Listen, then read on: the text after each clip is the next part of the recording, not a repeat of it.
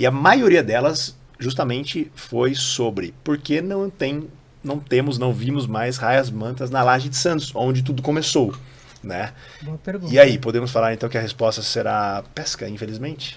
Uma Olha, delas. A gente tem a resposta otimista Uhum. e a resposta pessimista. Qual que vocês querem primeiro?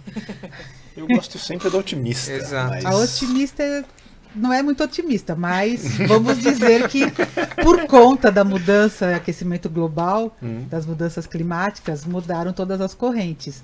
E a gente Ah. sempre encontrava elas na Laje de Santos, a gente tem um gráfico de acompanhamento, Uhum. elas gostam da convergência da água quente com a água fria, porque tem muito mais nutrientes.